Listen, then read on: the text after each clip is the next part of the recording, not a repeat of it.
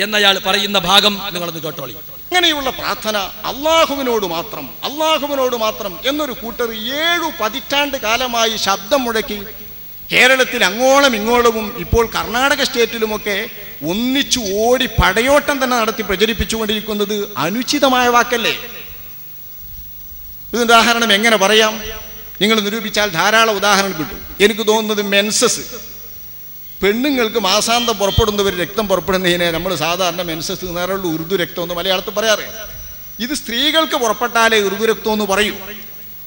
പുരുഷന്മാർക്ക് എങ്ങാനും വല്ല രക്തസ്രാവം ഉണ്ടായാൽ അതിന് പേര് മാറും. അതിനാരും ഹൈൽ എന്ന് അറബ് പറയൂല ഉറുദു രക്തം എന്ന് മലയാളത്തിൽ പറയില്ല. മെൻസസ് എന്ന് നമ്മൾ ഇംഗ്ലീഷ് വേർഡായി സാധാരണ ഉപയോഗിച്ച് വരുന്നതും പറയില്ല.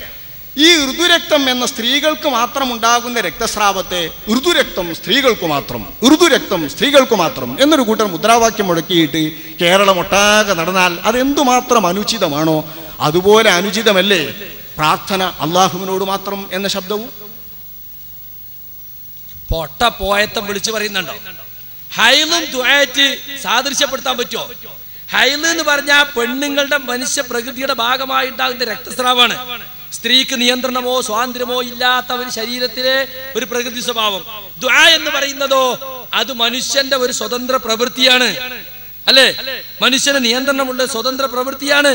അപ്പൊ മനുഷ്യൻ ചെയ്യുന്ന ഒരു സ്വതന്ത്ര പ്രവൃത്തിയെ ഒരു പെണ്ണിനുണ്ടാകുന്ന പ്രകൃതിപരമായ രക്തത്തോട് ഉപമിച്ചിരിക്കുകയാണ് മുസ്യാർ എന്തൊരു അബദ്ധമാണ് അത് പറഞ്ഞത് നിങ്ങൾ അള്ളാഹുവിനോട് നടത്തുന്ന പ്രാർത്ഥനയ്ക്ക് ദ്വാ എന്ന് പറയൂ എന്ന പൊട്ടപ്പോയത്തം തെളിയിക്കാൻ കഴിയാത്തതുകൊണ്ട് പ്രാർത്ഥന അള്ളാഹുവോട് മാത്രം എന്നത് ഋതുരക്തം സ്ത്രീകൾക്ക് മാത്രം എന്ന് പറയലാണ്. അതിന് വേറെ ഒരു അർത്ഥമുണ്ട്. ഋതുരക്തം സ്ത്രീകൾക്കല്ലേ ഉണ്ടാവുള്ളൂ. പിന്നെ അത് പറയേണ്ടതില്ലല്ലോ. എങ്കിൽ പ്രാർത്ഥന അള്ളാഹിനോട് മാത്രം തന്നെയല്ലേ? അത് പിന്നെ പറയേണ്ടതില്ലല്ലോ. അപ്പൊ അള്ളല്ലാത്തോട് പ്രാർത്ഥിക്കണതോ? കണ്ടോ? അള്ളാഹുവിനോട് മാത്രമേ പ്രാർത്ഥിക്കാവൂ എന്നത് പറയേണ്ടതില്ല. എല്ലാവർക്കും അറിയാം. അത് അങ്ങനെ ഒരു അർത്ഥം ഒന്നുകൂടെ? മുസ്യാരുടെ വാദപ്രകാരം അള്ളാഹുവിനോട് മാത്രമേ പ്രാർത്ഥിക്കാൻ പാടുള്ളൂ എന്നത് ഹൃദയത്രം സ്ത്രീകൾക്ക് മാത്രം എന്ന് പറഞ്ഞതുപോലെ അറിയപ്പെട്ട കാര്യമാണ്. എന്നിട്ട് പിന്നെ ഞങ്ങൾ അല്ലല്ലാത്തത് പ്രാർത്ഥിക്കാൻ വേണ്ടി ഈ ജാറോം ഏർപ്പാടും ഇതൊക്കെ ഉണ്ടാക്കുന്നത്? അപ്പോ മുസ്ലിയാരെ സംബന്ധിച്ചിടത്തോളം ഖുർആൻ കൊണ്ടോ ഹദീദ് കൊണ്ടോ ഇത് സ്ഥാപിക്കാൻ കഴിഞ്ഞിട്ടില്ല. എന്നിട്ട് പറയാണ് ഏഴ് പതിറ്റാണ്ട് കാലം മുജാഹിദീങ്ങൾ ഇവിടെ പ്രചരിപ്പിച്ച് പടയോട്ടം നടത്തി പ്രചരിപ്പിച്ചു കൊണ്ടിരിക്കുന്നതും ഇപ്പൊ കർണാടകത്തിലും. കർണാടകത്തിൽ മാത്രമൊന്നല്ല ലോകത്തിന്റെ എല്ലാ ഭാഗത്തും സെലഫികൾ ഈ തത്വം ഖുർആാനിന്റെയും ഹദീസിന്റെ അടിസ്ഥാനത്തിൽ പറഞ്ഞു കൊടുക്കുന്നുണ്ട്. അയാൾ നേരത്തെ പറഞ്ഞിട്ടില്ല നിങ്ങൾ? എല്ലാ അമ്പിയാക്കളും പറഞ്ഞത് എന്നാണ്. ഞാനല്ലാതെ ഇലാഹില്ല അതുകൊണ്ട് എനിക്ക് ഇബാദത്തെടുക്കണം എന്നാണ് പറഞ്ഞത്. എനിക്ക് എന്നോട് മാത്രം പ്രാർത്ഥിക്കണം എന്ന് പറഞ്ഞിട്ടില്ല. ഇബാദത്തെടുക്കണം തന്നെ പറഞ്ഞാൽ മതി. അത് കേട്ട ആളുകൾക്ക് മനസ്സിലാകും എന്ത്? ഇബാദത്തിൽ ഉൾപ്പെട്ടതാണ് പ്രാർത്ഥന. ലായിലാഹ ഇന്നല്ല കേട്ടപ്പോ എന്തുകൊണ്ടാ അബൂജഹൽ അത് സ്വീകരിക്കാതിരുന്നത്? ഞാൻ അംഗീകരിച്ചാ പിന്നെ എനിക്ക് ഇബ്രാഹിം നബിയോട് പ്രാർത്ഥിക്കാൻ പറ്റൂല ലാത്തയോട് പ്രാർത്ഥിക്കാൻ പറ്റൂല എന്ന് വ്യക്തമായി തന്നെ അബൂജഹലിന് മനസ്സിലായിരുന്നു.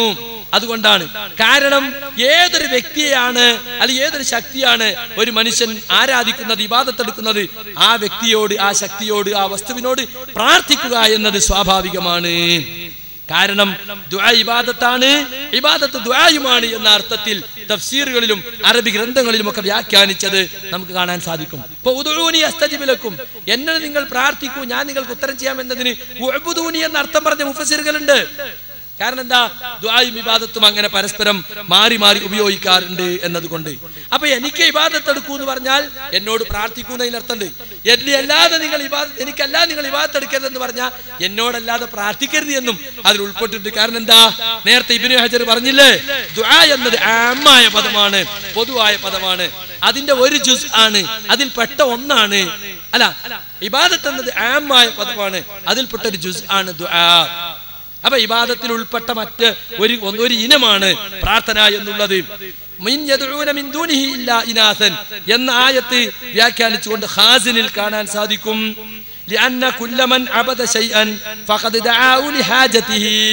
ആരെങ്കിലും വല്ലതിനും ഇബാദത്തെടുത്താൽ ആവശ്യം വരുമ്പോൾ അതിനോട് പ്രാർത്ഥിക്കുകയും ചെയ്യുന്നതാണ്. എന്ന് പറഞ്ഞ ആരാധ്യന്മാർ ആരാണോ അവരോടാണ് പ്രാർത്ഥനയുണ്ടാകുന്നത്. അതുകൊണ്ട് ആരാധിക്കരുത് എന്ന് പറഞ്ഞാൽ പ്രാർത്ഥിക്കരുത് എന്ന് കിട്ടി. പ്രാർത്ഥിക്കരുത് എന്ന് പറഞ്ഞാൽ ആരാധിക്കരുത് എന്നും കിട്ടി. ഇത് വളരെ വ്യക്തമാണ്.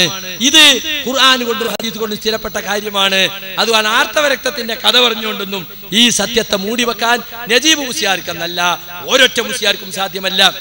ഇനി ഇയാളുടെ മറ്റൊരു വാദം എന്താ നിങ്ങൾ പ്രാർത്ഥനക്ക് ഭാഷയിൽ അപേക്ഷ യാചന ആഗ്രഹിച്ചു ചോദിക്കൽ എന്നൊക്കെ അർത്ഥമുണ്ട്. പ്രാർത്ഥന എന്ന വാക്കിന് അപേക്ഷ നടത്തണ്ട് യാചന നടത്തണ്ട് ആഗ്രഹിച്ച് ചോദിക്കൽ എന്നൊക്കെ അർത്ഥമുണ്ട് ഇത് അള്ളഹാനോട് മാത്രം എന്ന് പറയാൻ പറ്റൂല. അപ്പൊ അല്ലല്ലാത്തോട് യാചിക്കണില്ലേ? അല്ലല്ലാത്തോട് അപേക്ഷിക്കുന്നില്ലേ? എന്നാണ് ഇയാളുടെ വാദം. ശരി ഭാഷയിൽ പ്രാർത്ഥന എന്നതിന് അപേക്ഷ എന്ന അർത്ഥമുണ്ട് ആ അർത്ഥത്തിൽ ഉപയോഗിക്കുന്നുള്ളത് ശരിയാണ്. പക്ഷെ എല്ലാ അപേക്ഷക്കും പ്രാർത്ഥന എന്ന് പറയോ? അപേക്ഷാ ഫോറം നമ്മൾ ഇപ്പൊ സാധാരണ പറയാറുണ്ട്. ഇപ്പൊ ദാ ഏപ്രിൽ മെയ് മാസത്തിൽ സ്കൂൾ പൂട്ടിയാൽ എല്ലാവരും അപേക്ഷാ ഫോറത്തിന് സ്കൂളുകളിലേക്കും കോളേജിലേക്കും ഒക്കെ പോകും അല്ലെ? അവിടെ പ്രാർത്ഥനാ ഫോറം എന്ന് സ്കൂളിൽ എഴുതി വെക്കാറുണ്ടോ? പ്രാർത്ഥനാ ഫോറം ഓഫീസിൽ കിട്ടുന്നതാണ്. കുട്ടികളെ ചേർക്കേണ്ടവർ പ്രിൻസിപ്പാളോട് പ്രാർത്ഥിക്കേണ്ടതാണ് എന്ന് എഴുതി വെക്കാറുണ്ടോ? ഇല്ല. അപ്പൊ അവിടെ അപേക്ഷ എന്ന് തന്നെയാണ് പറയാറുള്ളത്. ഞാൻ ആ വില്ലേജ് ഓഫീസിൽ പോയിട്ട് ആ ഓഫീസറോട് കുറെ പ്രാർത്ഥിച്ചു. അയാൾ ആ സർട്ടിഫിക്കറ്റ് തന്നില്ല. പറയലുണ്ടോ? പറയാറില്ല. അപ്പൊ അപേക്ഷ എന്ന് പറയുന്നതിന് പ്രാർത്ഥിച്ചു എന്ന് സാധാരണ ഉപയോഗിക്കാറില്ല. അപേക്ഷ എന്ന വാക്കിന് പ്രാർത്ഥന എന്ന വാക്കിന് അപേക്ഷ എന്ന ഭാഷയിൽ അർത്ഥമുണ്ടായിരിക്കാം. അതേസമയം യേശുവിനോട് പ്രാർത്ഥിച്ചു ഗുരുവായൂരപ്പനോട് പ്രാർത്ഥിച്ചു മൊഹിയദ്ദീൻ ഷെയ്ഖിനോട് പ്രാർത്ഥിച്ചു അള്ളാഹുവോട് പ്രാർത്ഥിച്ചു ബദരീങ്ങളോട് പ്രാർത്ഥിച്ചു. ഇതൊക്കെ സാധാരണയായിട്ട് എല്ലാവരും നടത്തിക്കൊണ്ടിരിക്കുന്ന പ്രാർത്ഥനയാണ്. മനസ്സിലായില്ലേ? അപ്പൊ പ്രാർത്ഥന എന്ന് പറയുന്നതും അപേക്ഷ എന്ന് പറയുന്നതും രണ്ടും രണ്ട് തന്നെയാണ്. അത് വ്യക്തമായി മനസ്സിലാക്കിക്കൊണ്ട് തന്നെയാണ് ഞങ്ങൾ പ്രവർത്തിക്കുന്നത്. മലയാള ഭാഷയിൽ അതിന് എന്തൊക്കെ അർത്ഥം ഉണ്ടായാലും ദ്വയർക്ക എന്ന് പറഞ്ഞപ്പോ സാധാരണക്കാർക്കൊക്കെ അറിയില്ലേ? ഉസ്താദ് ഞങ്ങൾ ഇൻകൊന്ന് വേണ്ടി എനിക്കൊന്ന് ദ്വയർക്കണം. എന്റെ ഉപ്പാക്കൊന്നു വേണ്ടി ദ്വയർക്കണം. എന്ന് പറഞ്ഞ അർത്ഥം എന്താ? അതാണ് പ്രാർത്ഥന. അതിവിടെ ആരെയും നിങ്ങൾ തെറ്റിദ്ധരിപ്പിക്കാൻ ശ്രമിക്കേണ്ടതില്ല. എന്നിട്ടോ നമ്മളിപ്പോ ഡോക്ടറെ അടുത്ത് പോയിട്ട് ഡോക്ടറെ എന്റെ രോഗം മാറ്റി തരണേ എന്ന് പറയുന്നില്ലേ? അതുപോലെ തന്നെയാണ് മൊയ്യുദ്ദീൻ ഷെയ്ഖിനോട് പറയുന്നതെന്ന നൂറ്റാണ്ടുകൾക്ക് മുമ്പ് മരിച്ചുപോയ മൊഹ്യദ്ദീൻ ഷെയ്ഖിനെ വിളിച്ചിട്ട് ഇവിടുന്ന് ഒരാൾ പ്രാർത്ഥിക്കുകയാണ്.